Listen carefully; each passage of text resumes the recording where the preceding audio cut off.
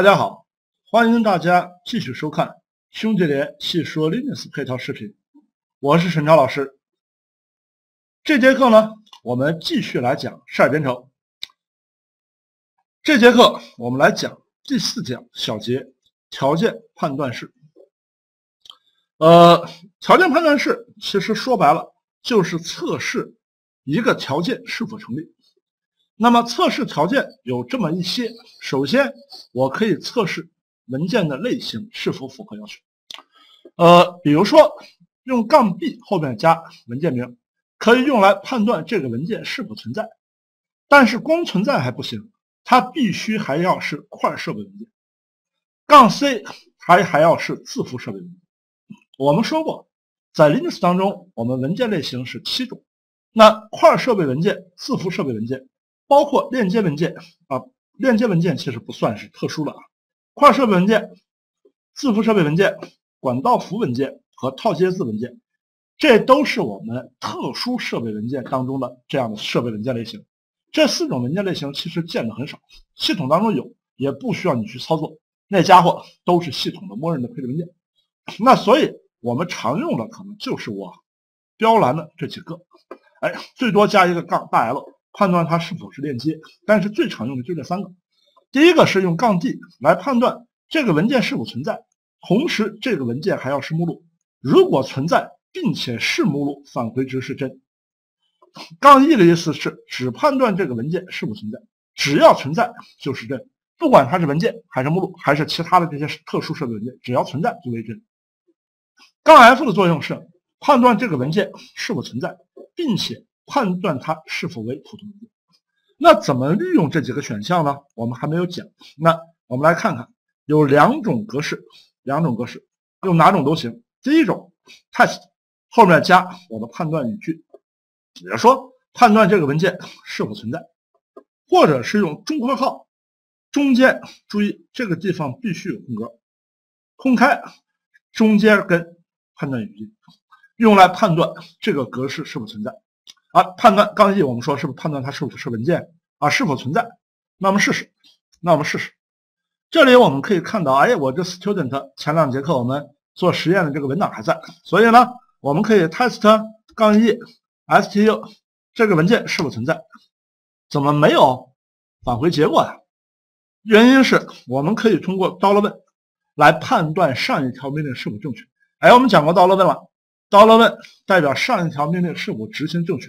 返回值如果是零，代表正确；返回值如果是非零，比如说我判断一个不存在的文件，这个文件肯定没有，那这个时候去看到了问，就会返回一个非零。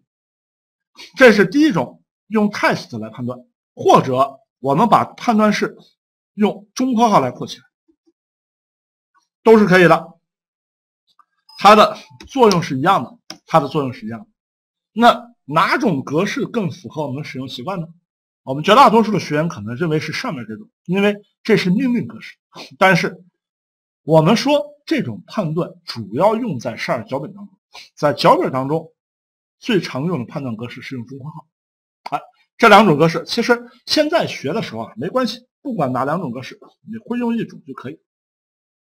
不过我们的学员他最大的疑问是：我干嘛需要通过这样的方式来判断我的文件是否存在？我想要知道这个文件是否存在，我在这里 ls 我直接看不就完了？能看到它不就在，看不到就不在。各位，我们用 ls 这些判断，这是给你用户看，但是我们现在讲的这些判断格式是给程序自动来执行的，也就是说它是给程序看。程序不可能说啊，就算程序可以通过 ls 的结果来写啊看它，然后判断是否存在。那是不是也要自己去写这个程序来判断它是否存在？那系统其实已经帮我们准备好了非常方便的语句，直接判断。换句话说，计算机不像人这么智能，或者说不像人这么感性。人是什么？我眼睛看见了，我就知道，大脑就分析，哎，这家伙在。我要看看这鼠标在不在，或者看看里面这老家伙在不在。我一看不在，我就马上知道。但是呢，计算机它是一种非常严谨的东西。你说它不在不行，你必须给我一个判断标准，这个标准符合了，比如说李明今天他不在，那计算机我人为来判断，我看一眼不在就可以了。那计算机要判断呢，它就先要扫描这个这个房间里的所有物体，然后给这每个物体都要分类，然后搞清楚这是什么东西，然后从而判断里面不在，最起码不在这个房间。那这才是计算机的语句。所以啊，如果想要知让计算机知道在这个文件是否存在，如果没有 test 的判断格式，就要像我刚刚那样说的，我要先扫描这个目录下的所有的文件，然后去比对里面有没有一个叫 inital.log，有存在，没有不存在。但是系统已经帮我们写好了判断语句，我们只要直接用它就可以。哎，换句话说，test 判断是给程序使用啊，程序很笨，或者说程序必须有符合我的标准，它才能判断它是否存在。标准是什么？杠 e 就是判断它是否存在。好了。知道了这个判断格式之外，但是啊，我每次判断完，我还需要用 echo 到了问来输出它这个结果是否正确，很麻烦。那怎么办？还记得我们前面讲过这个吗？双按的符逻辑语，第一条命令执行正确，第二条命令才会执行。双竖杠逻辑或，前一条命令执行不正确，这条命令才会执行。也就是说，如果我这样写。判断 root 是否是一个目录，那如果这家伙是目录，说明第一条命令正确，那么它就会执行第二条命令，会打印 yes。那如果第一条命令不是目录，那它是不是就不执行？它不执行，它也不会执行。那双数字杠之前的这个命令只要不执行，它就执行。也就是说，通过这样的写法，会变成什么？如果这个文件判断式成立，返回值为真，会输出 yes；如果这个判断式不成立，返回值为假，就会输出 no。这样做减少了，就说我可以不用再去手工来判断返回值。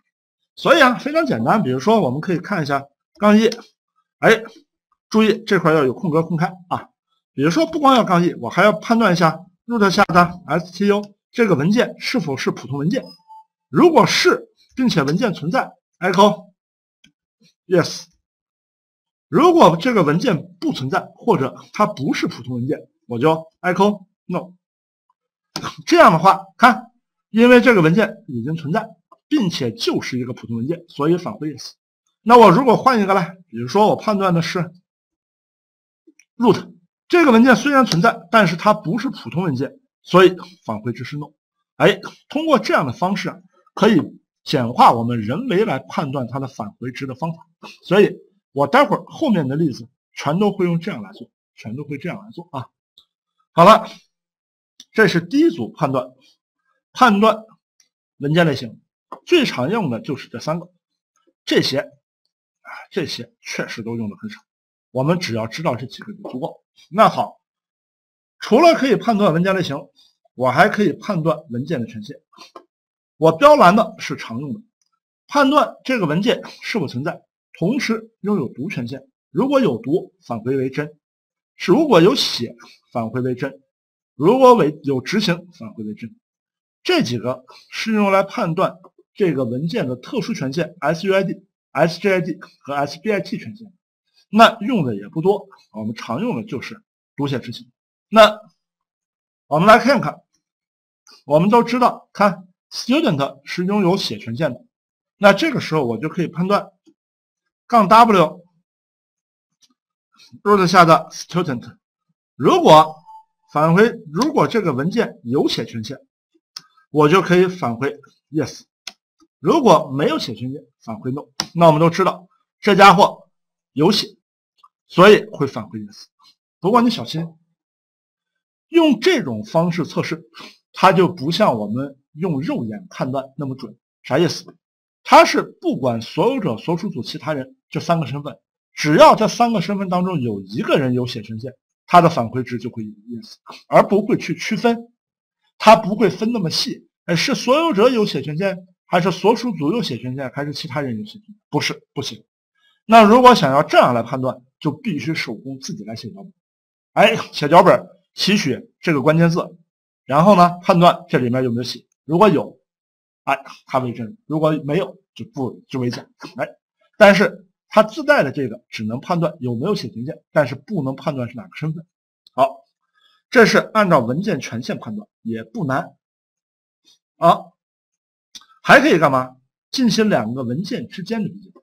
杠 NT 判断文件一是否比文件二新，它指的是修改时间。判断文件一是否比文件二旧，如果旧则为真。很好理解，两个文段的修改时修改时间，两个文件的修改时间做判断，一个比一个新。如果用杠 NT，它就会返回为真。N 是 new，对吧？T 是 time，杠 OT 呢？这个就是如果比一个比一个旧，返回值为真，很好理解。但是这里，它判断文件一和文件二的 inode 号是否一致，还是否记得 inode 号，也就是 i 节点号。我们在讲系统安装，在讲文件系统，这个文件系统管理的时候都说过，每一个文件都有它自己的 inode 号。我们可以把它当成是文件的 ID 号。那我们说，如果我做了一个硬链接，文件一和文件二做了硬链接，它们两个的区别就是，两个文件的文件名可以随便改，它不像软链接一样，它有自己的标志。但是我只能通过判断它两个的 inode 号，从而判断它两个是不是同一个文件。比如说，我这里有这样一个文件。我做硬链接，把 root 下的 student 链接到 temp 下，改名叫做 stu 点 t。这两个文件是硬链接，但是你如果我仔细去看，你会发现这两个文件其实没有任何的标记，它不像软链接。软链接还记得吗？在 etc 下有很多软链接，它会有箭头标称它的原文件在哪。但是硬链接呢，我们就说过了，你们会看到它们之间其实是看不到任何标记。那我怎么知道这两个家伙是硬链接呢？只有一个办法，就是什么？是不是可以支持杠 i 选项来看它的 i 节点号？这两个 i 节点号一样，说明这两个家伙是硬链接，是同一个文件，可以这么理解。但是呢，这个是需要人为肉眼来判断的。那要想让程序来判断，就可以用杠 ef 来判断。那我们就可以试试。杠不是 root 下的 stu student 杠 ef，它俩是否是为和 time 下的 stu 这两个家伙是不是为硬链接呢？如果是，打印 yes；如果不是，打印 no。你会发现，哎，它是硬链接。好了，这是两个文件之间的比较，也不难啊，也不难。我这里也是啊，创建一个硬链接，然后呢？测试就可以了。幻灯片上有这样的例子。接下来呢，还可以进行两个数值之间的比较。如果第一个数比第二个数，呃，这个相等，则为真；如果第一个数和第二个数不等，则为真；如果第一个数大于第二个数，则为真；第一个数小于第二个数，则为真；大于等于第二个数为真，小于等于。第二个数为真，哎，很好理解，我们试试。其实最常见的就是什么？比如说，我想判断一下两个数二十三是否大于，哎，记不住啊，gt 二十二，如果大于，返回 yes，否则返回 no。我们都能看到二十三确实大于二十二，但是这个时候如果我要写。那么就会返回 no，因为我用的是 gt 是大于，我要换成是 ge 大于等于，那它们两个是相等的，所以也会返回 yes。那如果是再换呢，把它换一个更大的，比如说四十，那这时候就会返回。好了，两个数之间的判断，当然我还是这句话，如果是两个是人，他不需要通过这样的方式来判断，我一看就知道。但是计算机要想知道，或者说我的程序要想知道，就需要通过这样的方式来进行数值之间的判断。换句话说，这些判断主要还是用来这个针对我们的程序脚本的运行的。那除了可以判断两个数，还可以进行两个字串进行判断。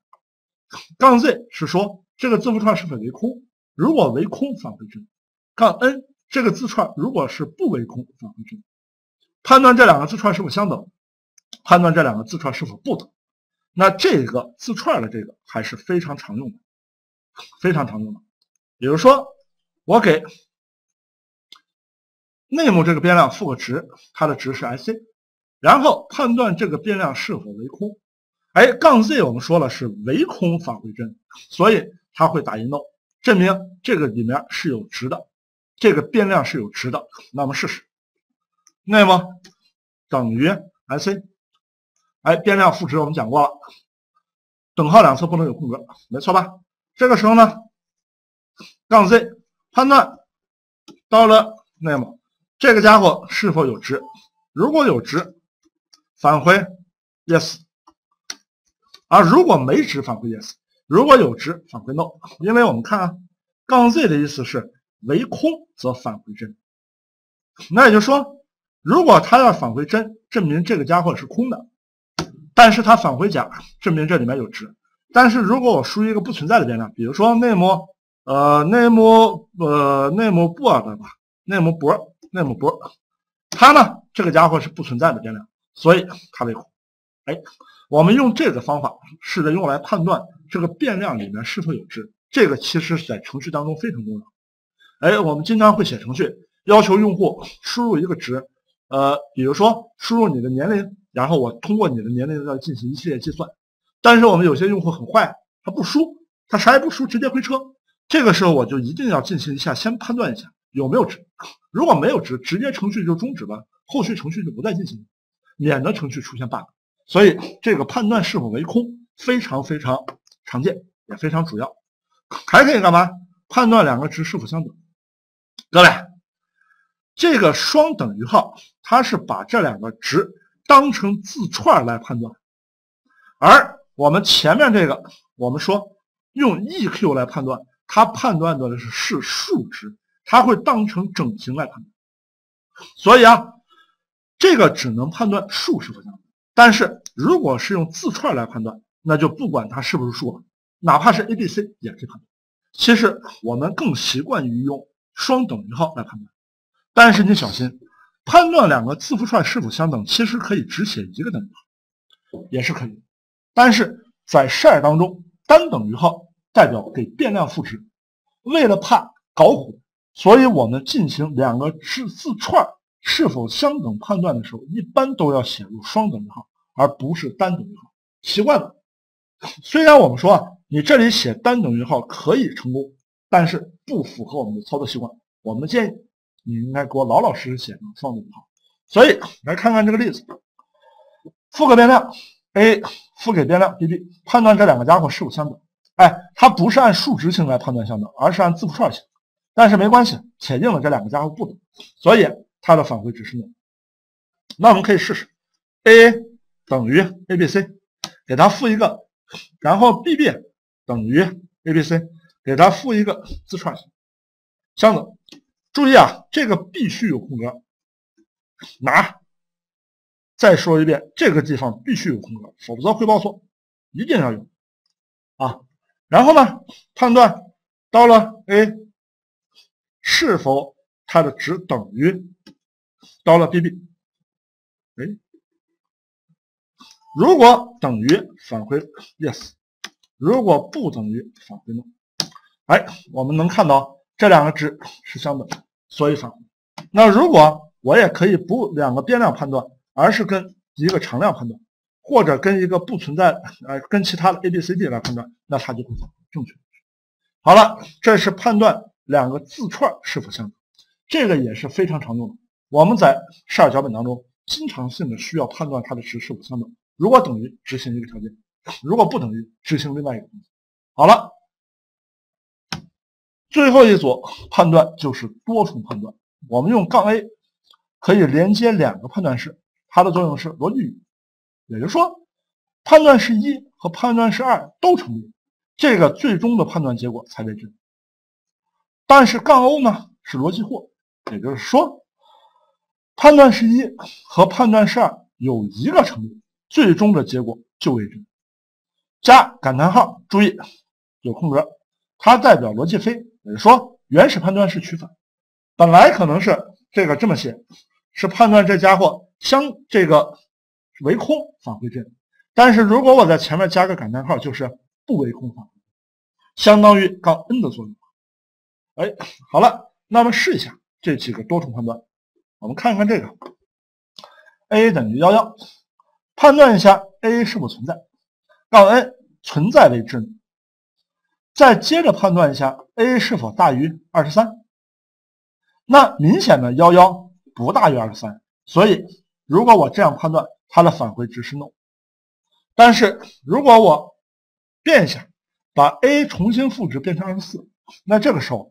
杠 n 它肯定存在，接下来呢，二十四肯定大于二十三，它的返回值就会是 yes。好了，我们试试，重新给 a 赋值，a 等于二十四，然后呢，判断杠 n 判断 a 是否存在，存在返回为真。